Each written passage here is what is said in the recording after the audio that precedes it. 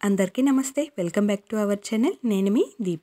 ఈరోజు మన ఛానల్లో ట్రెడిషనల్ స్టైల్లో ఉక్కరై ఎలా చేసుకోవాలన్నది చూద్దాము. మీరు ఎప్పుడైనా తిన్నారా ఈ స్వీట్ని? తిన్నారా లేదన్నది తప్పకుండా కమెంట్లో తెలిపండి. నేనైతే తినలేదండి. నేను ట్రై చేసి తిన్న తర్వాత బాగుంది అన్న తర్వాతే మీతో షేర్ చేస్తున్నాను. ముందుగా అయితే ఒక కప్పు మెషర్మెంట్ కోసం తీసుకోండి. అది గ్లాస్ అయినా పర్వాలేదు బౌల్ అయినా పర్వాలేదు.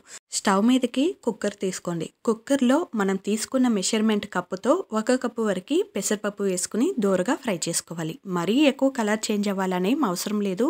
దోరగా ఫ్రై అయితే సరిపోతుంది. మీకు తెలుస్తుంది కదా దోరగా ఫ్రై అవ్వడం అంటే ఎలా అనేసి లైట్గా కలర్ చేంజ్ అవుతుంది. అలా కలర్ చేంజ్ అయితే సరిపోతుంది. ఈ గెరెటలో కలర్ చేంజ్ అయింది కూడా కనిపించలేదు కానీ లైట్గా కనబడుతుంది కదా. ఇలా కొంచెం కలర్ చేంజ్ అయితే సరిపోతుంది. ఈ స్టేజ్లో మనం పప్పునైతే శుభ్రం చేసుకోవాలి. కానీ కుక్కర్ వేడిగా ఉంటుంది. గరిటెతోనే ఒకసారి శుభ్రం చేసుకున్న తర్వాత ఆ తర్వాత చేపెట్టండి. ఇప్పుడు ఇలా నీళ్ళు పోసుకుని గరిటెతో ఒకసారి ఇలా కలుపుకుని ఈ నీళ్ళంతా వంపేసి ఆ తర్వాత నీళ్ళు పోసుకుంటాం కదా అప్పుడు మాత్రమే చేపెట్టండి. ఈ నీళ్ళల్లో అలా డైరెక్ట్గా చేయిబెట్టి కలిపేసామనుకో చేయి కాలిపోతుంది. సో గరిటెతో కలిపిన నీళ్ళతో ఇవి వంపేసి ఆ తర్వాత నీళ్ళు పోసుకుని శుభ్రం చేసుకోండి.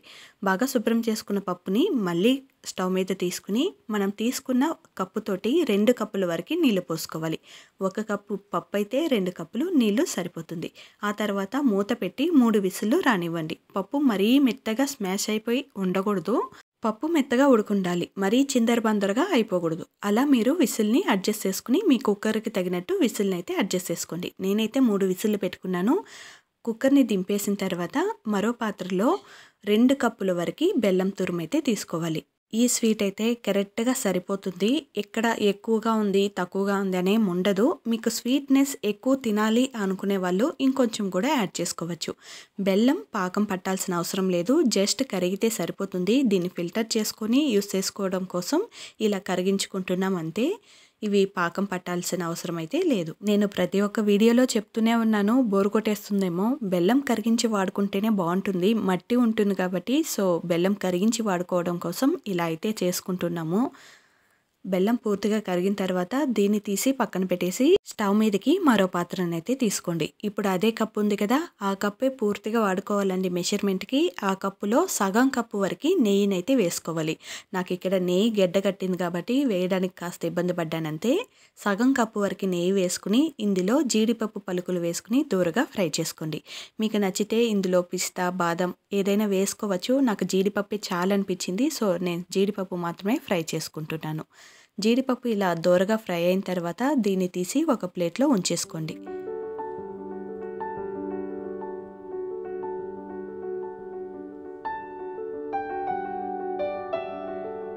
ఇలా దోరగా ఫ్రై అయిన తర్వాత దీన్ని తీసి ఒక ప్లేట్లో ఉంచేసుకోండి. ఇప్పుడు అదే కప్పుతోటి సగం కప్పు కన్నా కొంచెం తక్కువ కాలు కప్పు కన్నా కాస్త ఎక్కువగా రవ్వ తీసుకోండి. మరి కాలు భాగం అని చెప్పలేము. అలానే సగం భాగం అని చెప్పను. సగం కప్పు కన్నా కాస్త తక్కువగా కాలు భాగం కన్నా కాస్త ఎక్కువగా రవ్వని తీసుకుని ఈ నెయ్యిలో వేసుకుని ఇది కూడా గోల్డెన్ కలర్ వచ్చేంత వరకు ఫ్రై చేసుకోవాలి. గోధుమలు ఏ కలర్లో ఉంటుందో ఆ కలర్ వచ్చేంత వరకు ఫ్రై చేసుకోవాలి. ఇది సిమ్లో పెట్టేసి మనం పప్పు ఉడికించుకున్నాం కదా దాన్నైతే ఒకసారి చెక్ చేసుకున్నాము చూడండి పప్పు అయితే ఇలా ఉడుకుండాలి. మరీ మెత్తగా చిందరబందరగా కాకుండా పప్పు చూడడానికి పప్పులాగే అనిపించాలి కానీ మెత్తగా ఉడుకుండాలన్నమాట. దీన్ని ఎక్కువ స్మాష్ చేయాల్సిన అవసరం లేదు. గరెటతో ఇలా నలుపుకుంటే సరిపోతుంది. ఇది ఆ తర్వాత రవ్వలో వేసిన తర్వాత మెత్తగా అయిపోతుంది కాబట్టి ఎక్కువ మెత్తగా ఎనిపేకండి జస్ట్ అలా గరెటతో నొక్కామంటేనే మెత్తగా అయిపోతుంది. మరీ సాఫ్ట్గా పప్పుకి ఎనుపుతాం కదా అలా కాకుండా ఇలా ఉంటేనే బాగుంటుంది. మీకు చూపిస్తాను చూడండి. ఇలా మెత్తగా గరెటతో నొక్కుంటే సరిపోతుంది.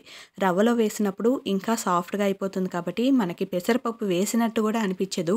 ఇలా అయ్యేంతవరకు గరెటతో నొక్కున్నామంటేనే సరిపోతుంది. చూడండి ఇలా ఉండాలన్నమాట పప్పు. ఇంకా మెత్తగా అయితే వద్దు ఓకేనా?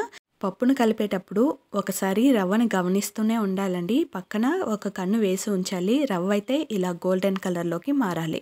గోధుమ కలర్లో మారింది కదా ఈ స్టేజ్లో పప్పుని తీసి ఇందులో వేసుకోండి. పప్పు వేసినప్పుడు కాస్త మాడిపోతుందేమో అనేసి కొంచెం పప్పు వేసి కలబెట్టేసి ఆ తర్వాత మిగతా ఉండే పప్పునైతే వేసుకుంటున్నాను. మీరు మొత్తం పప్పు కూడా వేసేసుకోవచ్చు. పప్పు వేసిందే అడుగు అంటుకుంటుంది కదా అందుకోసమే పప్పు సగం వేసిన తర్వాత ఇలా మిక్స్ చేసి మిగతా సగం ఆ తర్వాత యాడ్ చేసుకుంటున్నాను. పప్పు మొత్తం వేసిన తర్వాత బాగా మిక్స్ చేసుకోండి. రవ్వ పప్పు బాగా కలిసిపోయేలా మిక్స్ చేసుకోవాలన్నమాట. మీకు ఒక డౌట్ వచ్చిందా? మనం ఎక్కడ రవ్వనైతే ఉడికించలేదు కదా రవ్వ ఎలా ఉడుకుతుంది అనేసి డౌట్ వచ్చిందా? అవునండి నాకు కూడా ఈ డౌట్ ఉన్నింది రవ్వ ఎలా ఉడుకుతుంది అనేసి. కానీ ఒకసారి ట్రై చేసినాక తెలిసిపోయింది కదా మీకు క్లియర్గా ఎక్స్ప్లెయిన్ చేయొచ్చు. రవ్వని మనం జస్ట్ ఫ్రై చేసాం అంతే కదా. పప్పు వేసిన తర్వాత పప్పులో బాగా కలిసిపోతుంది కాబట్టి రవ్వ అందులోనే సగం ఉడిగిపోతుంది అన్నమాట ఆ తర్వాత మనం బెల్లం నీళ్ళు వేస్తాం కదా. ఆ నీళ్ళు పోసినప్పుడు ఇంకా సగం ఉడిగిపోతుంది. కానీ మనకి రవ్వ ఉడకలేదే రవ్వ రవ్వగానే కనబడుతుంది అనేలాగా ఫీల్ అయితే ఉంటుంది. కానీ రవ్వ పూర్తిగా కరిగిపోతుంది మనకి రవ్వ వేసినట్టు కూడా అనిపించదు అనమాట మీరైతే ఎలాంటి డౌట్ లేకుండా దీన్నైతే ఖచ్చితంగా ట్రై చేసేవచ్చు. పప్పు కాస్త దగ్గర పడినట్టు అనిపించిందా? ఇప్పుడు మనం ముందుగా కరిగించి పెట్టుకున్న బెల్లం నీళ్ళని అయితే యాడ్ చేసుకోండి. మనకి ఇది వేసే లోపల బెల్లం నీళ్ళు తిక్కుగా అయిపోయింది అని అనిపిస్తే ఒకసారి స్టవ్ మీద పెట్టుకుని కాస్త కన్సిస్టెన్సీ లూజ్ చేసుకుని ఆ తర్వాత ఫిల్టర్ చేసి యూస్ చేసుకోండి. చాలా మట్టి ఉంటుందండి. సో ఇలా చేసుకున్నామంటే మనకి మట్టి లేకుండా నీట్గా ఉంటుందన్నమాట.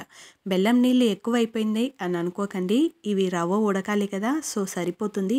కన్సిస్టెన్సీ ఇలా లూస్గా ఉంటేనే కరెక్ట్గా ఉంటుంది. రవ్వ ఉడకాలి కదా అందుకోసం ఇలా లూస్గా ఉన్న ఉడకను ఉడకను తిక్కుగా అయిపోతుందన్నమాట.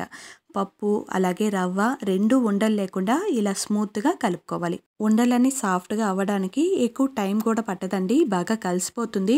గరిటెని మధ్యలో ఇలా నొక్కుతూ పప్పు ఎక్కడ ఉండలుందో దాన్ని అలా నొక్కుతూ ఉన్నామంటే ఇలా స్మూత్గా అయితే అయిపోతుంది.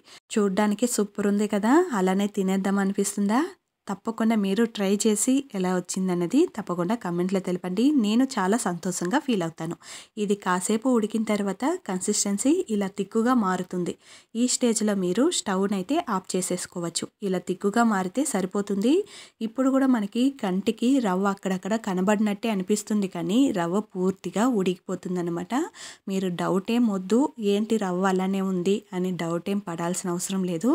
ఆ వేడికి మొత్తం మెల్ట్ అయిపోయి బాగా కలిసిపోతుంది. ఇంత థిక్నెస్ వచ్చిందంటే సరిపోతుంది. స్టవ్ని అయితే ఆఫ్ చేసేసుకోండి. ముందుగా మనం జీడిపప్పులు ఫ్రై చేసి పెట్టుకున్నాం గుర్తుందా? దాన్ని ఇప్పుడు యాడ్ చేసుకోవాలన్నమాట. దీంతోపాటు మీరు మెలన్ సీడ్స్ కూడా వేసుకోవచ్చు. బాగానే ఉంటుంది.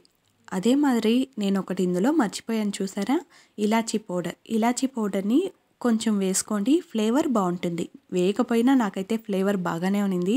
ఫస్ట్ టైం నేను ట్రై చేసినప్పుడు వేసుకున్నాను కానీ ఈసారి వేసేయడానికి మర్చిపోయాను. అంతేనండి ఉక్కరై రెడీ అయిపోయింది. చాలా ఈజీ కదా ఒక పదహైదు నిమిషాలు ఉంటే సరిపోతుంది. చేసేవచ్చు చాలా టేస్టీగా కూడా ఉంటుంది. తప్పకుండా మీరు ట్రై చేసి ఎలా వచ్చిందనేది తప్పకుండా కమెంట్ చేస్తారని ఎదురు చూస్తూ ఉంటాను. తప్పకుండా ట్రై చేసి ఎలా వచ్చిందన్నది కామెంట్ చేసేయండి. అలాగే మన ఛానల్ని ఒకసారి విజిట్ చేసి వీడియోస్ అన్నీ చూడండి. వీడియోస్ అన్నీ నచ్చిన తర్వాతే మన ఛానల్ని సబ్స్క్రైబ్ చేసుకుని పక్కనుండే బెల్ ఐకాన్ని ప్రెస్ చేసి పెట్టుకోండి. ఈ వీడియో నచ్చిందంటే మరవకుండా లైక్ చేయండి. మీరు లైక్ చేశారంటే నాకు కొంచెం ఎంకరేజింగ్గా ఉంటుంది కదా. ప్లీజ్ లైక్ చేయండి. మన ఛానల్లో లాంగ్ వీడియోలలో ఫస్ట్ టైం లాంగ్ వీడియో వేశాను. అది కూడా చూసి ఎలా ఉన్నదన్నది కామెంట్ చేసేయండి. Thank you for watching. Please share చేసేయండి.